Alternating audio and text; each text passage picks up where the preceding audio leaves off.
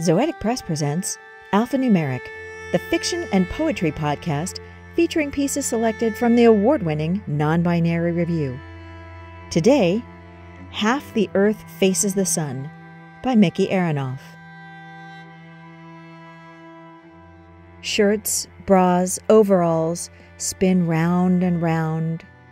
Through a glass circle, I stare at a cycle of sleeves, socks, straps, suds lose myself in the tangle, look for a trail, any trail, to find myself in the labyrinth's eye as he stomps in bickering, our usual rounds of what do we do if I die?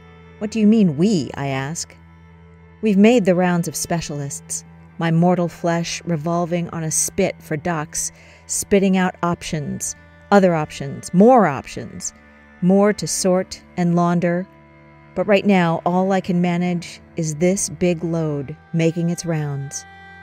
I glance outside at the dog circling round a bone.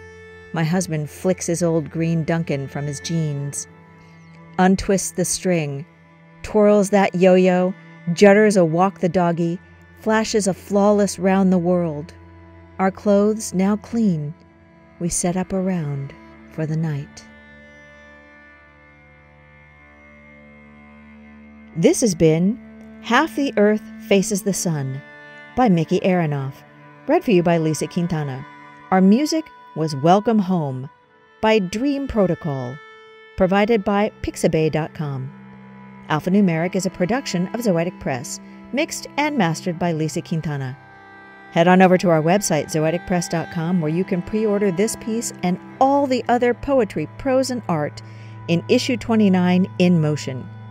Pre order and you get 20% off, or get any amazing issue of Non Binary Review. While you're on the website, check out our newest feature, Random Access Memory, a selection of nonlinear literature unlike anything you've seen before. Read it for free at zoeticpress.com slash random access memory. If you like the podcast, please subscribe, rate, review, all that stuff. It helps other folks find our podcast, and it makes us love you, love you, love you non binary review, because humans are hardwired to tell stories.